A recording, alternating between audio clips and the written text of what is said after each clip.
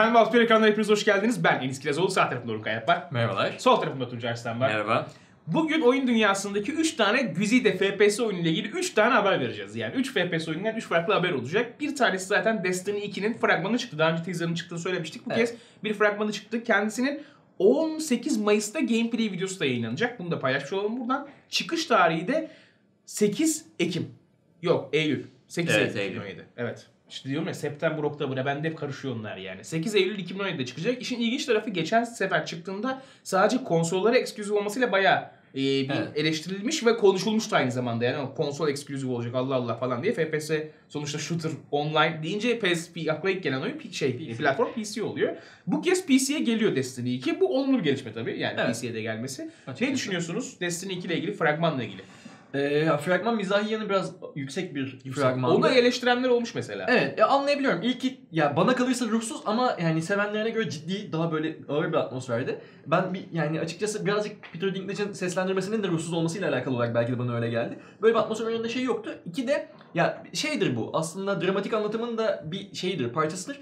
Eğer ki bir şeye ruh katmak istiyorsanız mizah en kolay yollardan bir tanesidir. Mizah yanını yükseltirseniz hani insanları da e, ruhsal olarak hani bir Çekersiniz. şeyler evet hissettirmeye yakındır. Onu yapmaya çalışmışlar. Yani kolay kaçtıklarından demiyorum. Yani ne, ne düşünerek yaptılar bilemiyorum. Belki de hep bunu düşünüyorlardı ama e, mizahi yanını birazcık yükselterek insanlara daha böyle bir e, ruhu olan daha bir şey vermeye çalışmışlar. Yani en azından benim gibi düşünenlere. Evet, Dediğim önceki gibi. videoda da aslında bu barda içen Aynen, bir abimiz orada orada da- da, bir mizah Tabii vardı tabii. yine. Ama çok bir şey Belli ki için bir yavaş yavaş bir sanki öyle bir kayma Aynen. var. Yani belki teaserına hani böyle şakalı yapmışlar ama şeyde görmeyiz diye ben düşünmüştüm açıkçası. Ama yok trailerda o karakter ve çevresi yani birazcık onlar misfit dedikleri ecnebilerin bir yere uyamayan karakterler birazcık eee, olduklarından öyle bir şeyle özdeşleştirmişler. Çok ağzı laf yapan e, bir karakter çıkmış ortaya. Eğlendim ya. Tabii Ben Destiny'nin de. ha, ben Destiny'yi bu arada hiç sevemedim. Çünkü birincisi online olduğu için tamamıyla benim çok hoşlaşmadığım bir oyundu. Single hikayesi çok sarmamıştı. Bu kez hikayeyi böyle daha güzel bir şekilde toparlayabilirlerse e, hani daha oynamaya şans vereceğimi düşünüyorum kendisini. Bir de hani karakter çeşitliliği gibi kısımları falan biraz daha artırırsa şahane Evet. olur.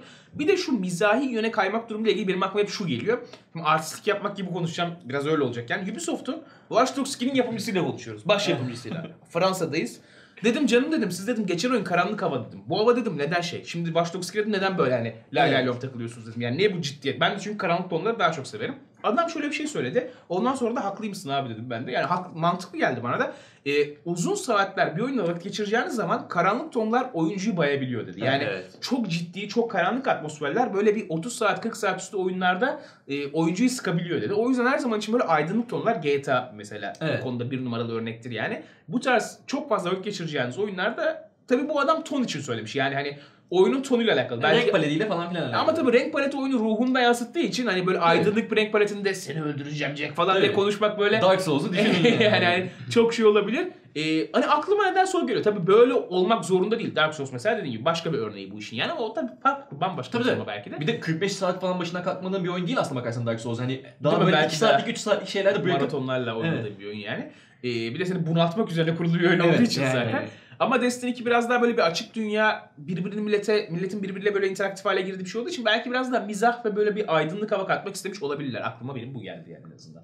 Yani böyle bir ihtiyaç yani güzel yapıldığında her oyuna yakışıyor Tabii bence. canım, her Tabii, oyuna tabii. yakışıyor yani. Ama Destiny'nin önceki e, işte oynayanları biraz böyle şey hani çok mu lan acaba böyle lay lay lom geçecek Ama diyebilirler. o kadar da böyle çok büyük bir değişim yapmazlar herhalde. Çok lay lay lay. Vallahi yapabilirler yani. Watch Dogs Yok. 1'den Watch Dogs 2'ye geçişte de böyle bir bambaşka bir oyun görmüştük. Sadece yani o aklıma şakaları yapan karaktere ait kalacak. Yani gene ciddi bir evrende sadece o birazcık zıpır bir tip olacak gibi duruyor. Yani. Onu da böyle vermek istemişler Evet. gibi. İki karakter var. Tam onu diyecektim. O fragmanda iki karakter ve bir tanesi zıpır zıpır konuşuyor. Böyle mizah, şakalı, komikli konuşuyor. Ötekisi daha böyle gaza getiriyor. İşte daha böyle bir lider tavrı var. Ama bana kalırsa mizah yapan daha dikkat çekiyor, ilgi Evet, çekiyor. öyle Yani zaten ama. O diğeri böyle hani lider daha böyle şey hani karizma olmasına rağmen o, o etkiyi yaratamıyor. Ya, Yani çünkü klişe kalıyor şeyi. dediğin şeylerden dolayı. Öbürü Çok daha böyle. karakterli. Bir de o kadar daha karizma da değil yani dışına bu arada. çıkıyor. Bir de Ne değil- yalan söyleyeyim. Yani evet yani o kadar da bir abi değil değil. yani. Bu arada o Nathan Fillion'in seslendirdiği o robot abiyi de e, ilk yorumda gördüm videonun altında Deadpool'a benzeten bayağı insan Hmm. olmuş yani. Aa Deadpool, Deadpool, evet. robot versiyonu falan gibi böyle ya. Doğru. Olur da olmuş artık siz bilirsiniz yani öyle bir hava alınmış. O zaman geçiyorum bir sonraki duyuru haberimize. Battlefront 2. Evet Star Wars Battlefront 2 resmi olarak duyuruldu. Ee, ne zaman çıkacağını biliyoruz ama 2017'de çıkacağına ben kesin gözüyle bakıyorum. Çünkü şöyle bir şey var. 15 Nisan tarihinde Star Wars'un bir e, exposu, fuarı olacak yani yurt dışında. Ve orada Battlefront 2'yi ilk kez gösterecekler fragmanıyla. İşin asıl güzel tarafı ise E E3 2017'de yani Haziran ayında oynanabilir olarak halka açık olarak Battlefront 2'yi sunacaklarmış. Yani oyun baya baya bitmiş artık. Hani son demlerine gelmişler gibi bir şey bu. Bu da demek oluyor ki 2017'de büyük ihtimalle Battlefront 2'yi göreceğiz. Ben öyle tahmin ediyorum. Çok şaşırtıcı gelmedi bana açıkçası. Bence ilk oyunun üzerine çok bir şey koyarak gelmeyecekler. Yani ilki aslına bakarsanız iyiydi ama sevilmemesinin sebebi artık Star Wars teması mıydı? Multiplayer'ı mı kötüydü? Ya, Ya Star Wars deyince beklenti yine çok büyüyor. Evet. Yani biraz daha Aslında derinlik, biraz daha Tabii çeşitlilik başarılıydı da. istiyor insan. Evet. Ya işte çeşitlilik. Bence oyunun en büyük sıkıntısı oydu. Harita veya diğer şeyler konusunda bir sıkıntısı vardı Kısa yani. ömürlü olmasında onun etkisi doğru. Yani online oynadığınız zaman biraz daha böyle içeriğinin dolu olması bekliyor. Sonradan belki doldurmuşlardı ama ilk çıktığı zaman için biraz e, zayıf kalmıştı çeşitlilik anlamında. Battlefront 2'nin olacak bilmiyorum. Ben biraz daha ışın kılıcı aksiyonun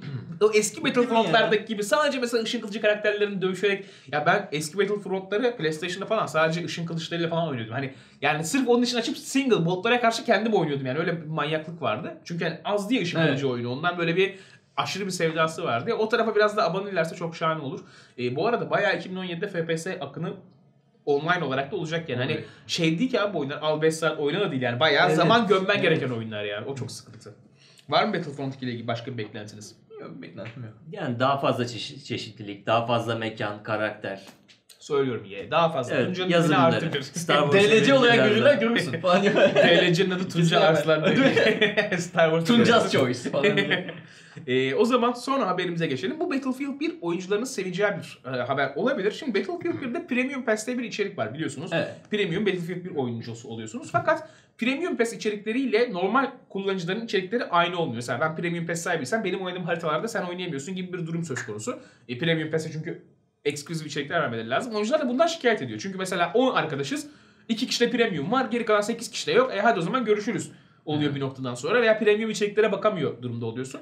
Battlefield 1'in yapımcıları da bunu duymuş e, ve bunun için bir çözüm getirmişler. Bunu duymuş deyince hadi ya vah vah.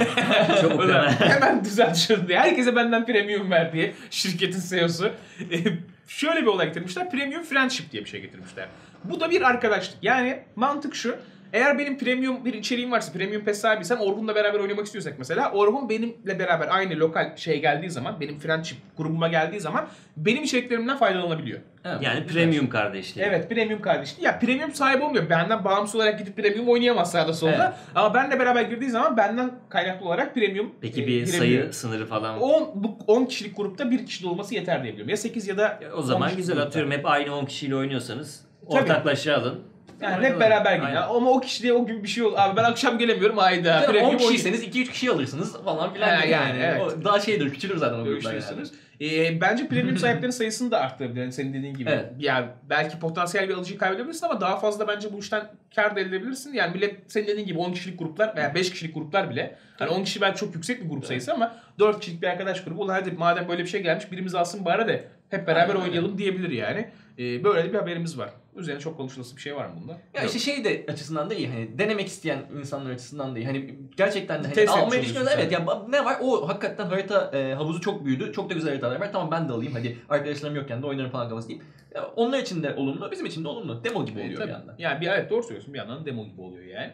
E, bugün 3 tane FPS oyunu ile ilgili 3 tane farklı haberimiz vardı. Bunları paylaşalım dedik sizlerle. Yani burada en çok heyecanlandırılan şey tabii Destiny 2'nin e, nasıl gelip nasıl Evet. çıkacağı, 18 Mayıs'ta nasıl bir fragman göreceğimiz, nasıl yayınlanacağı. Hani en çok buna dikkat edeceğiz diye düşünüyorum.